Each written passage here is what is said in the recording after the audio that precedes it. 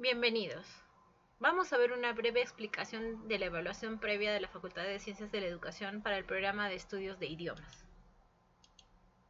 Esta evaluación va a constar de dos partes, una respectiva al idioma inglés y otra respectiva al idioma francés. La parte del idioma inglés va a tener un valor de 35 puntos y la del idioma francés de 15 puntos. El nivel que se va a evaluar en el idioma inglés es un nivel A2.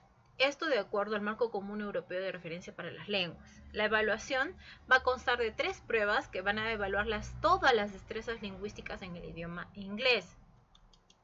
En la primera parte vamos a evaluar lo que es reading and writing, que es la comprensión de lectura y la expresión escrita, y va a tener una duración de 60 minutos.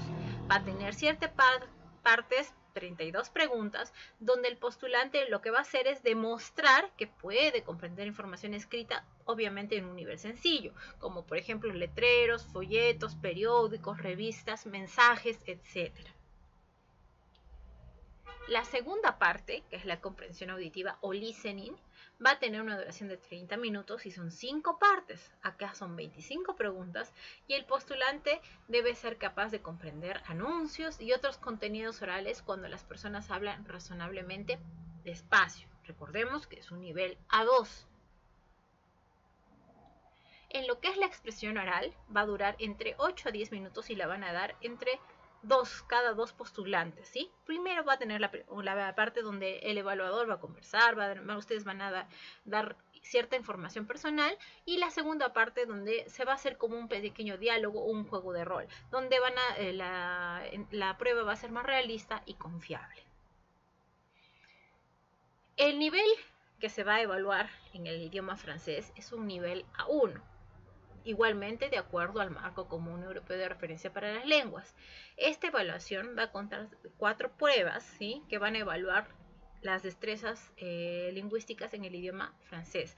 La primera parte va a ser la comprensión del oral y va a eh, tener una duración de 20 minutos, son cuatro partes y aquí el postulante tiene que demostrar que recibe y procesa los mensajes orales en francés en un nivel A1. En la comprensión de écrit, que es la comprensión de textos escritos, que tiene una duración de 30 minutos y son cuatro partes, aquí el postulante tiene que demostrar que es capaz de leer documentos para orientarse y poder obtener eh, información, seguir instrucciones de textos sencillos, no muy complicados, recordemos que es un nivel A1. En la producción écrit, aquí es la producción escrita. El postulante va a demostrar que puede escribir en francés en un nivel A1. Tiene una duración de 30 minutos y son dos partes. Aquí tienen que producir un texto en francés, ¿sí? obviamente en un nivel sencillo, de acuerdo al nivel A1. Puede ser un artículo, puede ser una carta, puede ser un resumen. También puede requerir a veces que llene un formulario, escriba un mensaje, escriba la respuesta, por ejemplo, a un correo electrónico o a una carta.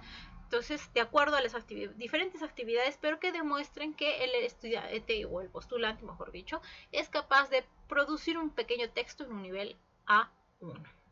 La producción oral, que es la producción oral, va a tener una duración de 5 a 7 minutos y preparación mientras esperan de postulante a postulante.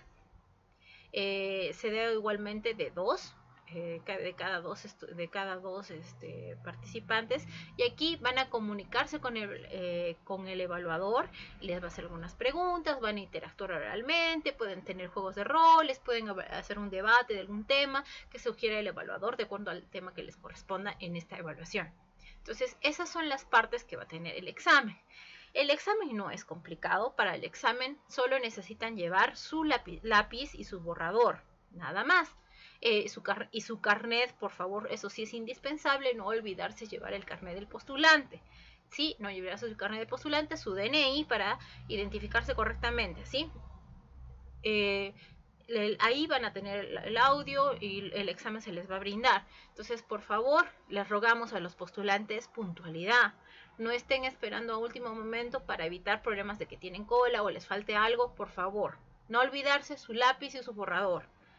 Eh, eso es todo en cuanto a la evaluación de eh, idiomas.